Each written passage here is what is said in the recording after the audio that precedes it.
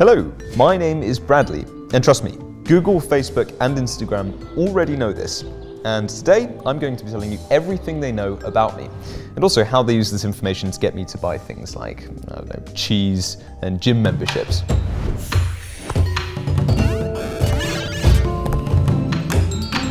But first of all, let's tap into the origins of targeted advertising. Now, the picture you see on screen is the 1908 Ford Model T. This was a car that put millions upon millions of Americans behind the wheel for the first time. Now, by 1927, Ford's factories had produced over 15 million Model Ts. Now, that's 30 times more than Tesla produced last year. Needless to say, the Model T was a genuine revolution, not just for the automotive industry, but for advertising as well. Henry Ford actually once said, if you've got a really good thing, it will advertise itself. So that's why, up until 1923, Ford hadn't invested a single dime in advertising the Model T. Yet still, Ford did supply its dealers with all sorts of informational materials and brochures. Now, indeed, it was the dealers who did all of the PR work. For instance, the dealers would actually work with local newspapers and magazines to tailor advertisements to the needs of their local clients, who they knew much better than the Ford company. In fact, dealers would spend up to $3 million a year on this sort of advertising. And bear in mind, this is the 1920s, so this was an absolutely ludicrous budget for the time.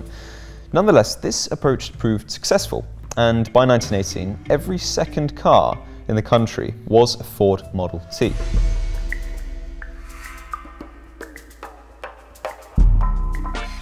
Have you seen this banner before?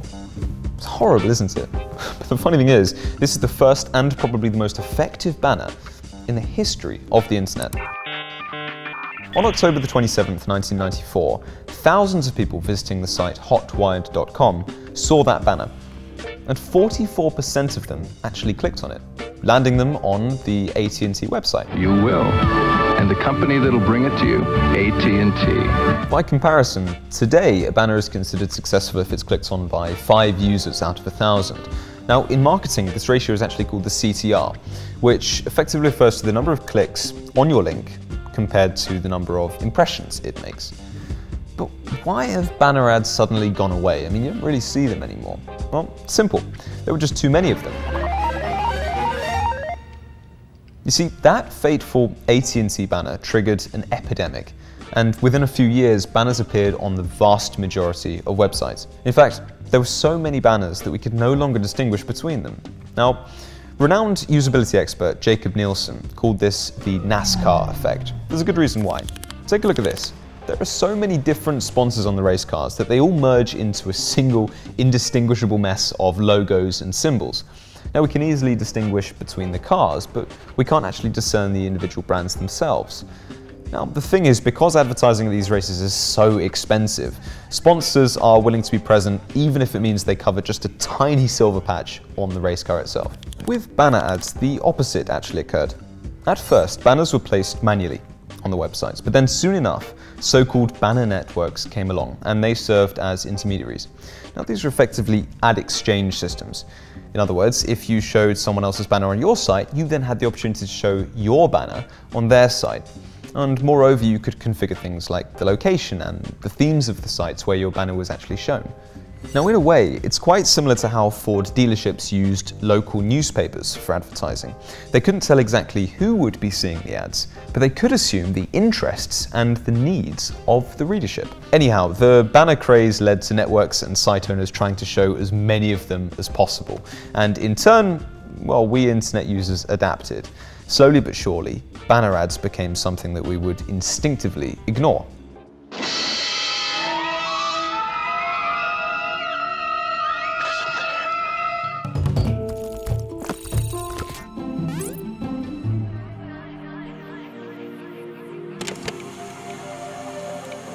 Obviously, it didn't take long for ad agencies to see the huge potential in online promotion. Now, just five years after the first banner ads appeared, a man named Bill Gross patented a revolutionary technology. Now, his idea was to show ads that relate to the web page on which they're shown. Soon enough, this technology was actually purchased by the then leading search engine Yahoo. Bill Gross's invention led to the emergence of an even more tailored type of advertisement, one that's based on your search engine queries. On the one hand, this can be seen as a good thing, right? I mean, it will be easier for you to find the information that you need.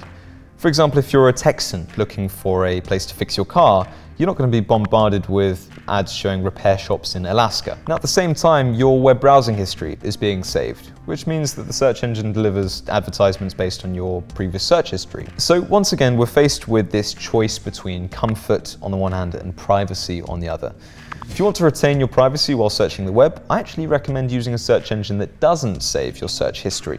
DuckDuckGo is actually an option here. You might have heard of this one. Now, the engine is based on the idea that the user needs to be given access to as much information as possible. Therefore, the user can decide for themselves, based on non-targeted, relatively objective search results, what they want to buy. And as such, the search engine does not store web browsing history, cookies, or any other tracking data. So I'd like to conduct a little bit of an experiment. Now, we're going to enter something into Google, and then we'll enter the same thing into DuckDuckGo and compare the results. So let's enter something simple like car repair. This goes with our earlier example. Now you can see that it automatically knows I'm in London. I'm getting recommendations very specific to the place that I am. Okay, so you can see I've got some recommendations here. So it's clear that Google already knows where I am, not just the fact that I'm in London, but also the fact that we're in central London. But let's enter the same thing into DuckDuckGo. Let's go for car repair. Now you can see you actually have the choice. So you can choose where you want to search, in the United Kingdom, or is it all regions, right? Or is it Argentina or Belgium or Brazil, something like that. And you can actually go and you can get very general, objective search results. So it's not storing any data about me, which is brilliant for privacy. 4.5 billion people already use the internet, and the total traffic has exceeded 40 zettabytes. In other words, that is a ton of data. Too much data for my comprehending, right? Now, for example, if I wanted to search the word banner on Google, right, it's clear that I get over 2 billion results. Now this is why search engines use something called a filter bubble mechanism. Now this means that the search engine displays the results it thinks are suitable for me, and this is informed by the data that it's constantly collecting. Now this includes my search history, my website visits, videos that I've viewed on YouTube, and, and so on. Do you want to have a look at what Google thinks about you? Well, it's really easy. Click the link in the description and you'll see yourself through the eyes of the search engine itself.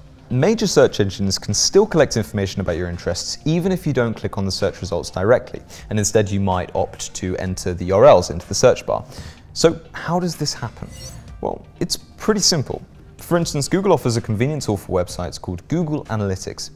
Now this effectively offers easy to use reports about visitors, popular and unpopular pages, and ultimately how users are navigating the site in general. While the site owner can't track the individual visitors, Google can. In fact, Google can track what you do, and it can also store the relevant data in your personal profile.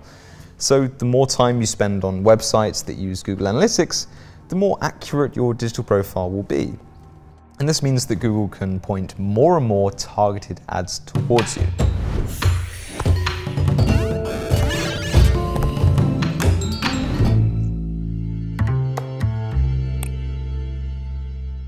Online stores spend a lot of time and money to get you to click on their ads, obviously, but according to statistics, most people who click on their link will actually leave after just visiting one page. This could be because of a lot of reasons. I mean, maybe they haven't yet decided to make a purchase, or maybe they don't have enough time to place an order, or even enough money in their account. In any case, they're still known as hot customers because they've already shown their interest in the product. Now, if this is you, advertisers are going to be targeting you again and again in an attempt to make you complete that purchase, which you didn't do prior. So if you've ever clicked on an ad and then found yourself being bombarded by similar ads or the same ad over and over again, you're effectively being retargeted by these advertisers. They've captured your interest and now they're pushing you to buy. Now, it's not only search engines that are collecting your personal data. Social networks, messengers, and mobile apps collect information on your location, activities, and even the contacts of your acquaintances.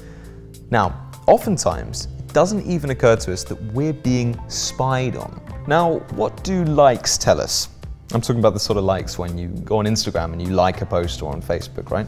Now, even a few likes can reveal your gender and age. For example, this little research project Let's have a look. You can tick the six photos that you like more than the others. And believe it or not, A neural network will actually determine your age and your gender based on your selections. How mad is that? So if just six likes makes this possible, can you even imagine what Facebook and Instagram already know about you? Much, too much, too much, too much. Recently, Signal Messenger launched an ad campaign in which they used narrowly targeted ads based on job details, geolocation, relationship status, and personal interests. Now, these ads reveal to users just how much is known about them to advertisers, and the result is kind of creepy. You probably remember one of my recent videos where I explained how you can delete your social media profiles. If you didn't get a chance to, don't worry, go have a look after this video, it's really great. But I would like to now expand on a few of those points that I made. Well, what I'm talking about is that Facebook knows much more about you than what it reveals. And what I'm talking about specifically the creation of a shadow profile. Now, in other words, this is a vast amount of personal information that's indirectly collected from you by Facebook. Now, what's quite scary is that you don't actually need to have Facebook to have a shadow profile created for you. All it takes is for your friends to share your contact with Facebook.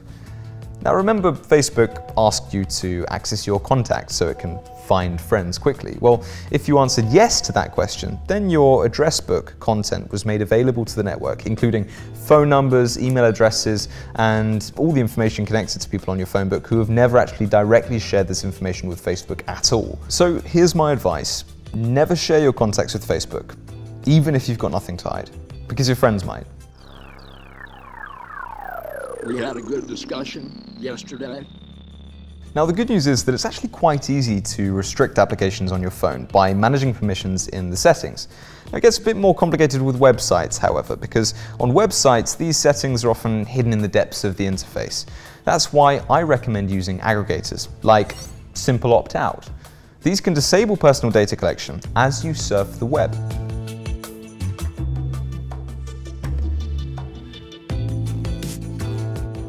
So let's wrap it up. Hopefully, I've illustrated how invasive the advanced targeted advertising technologies have become.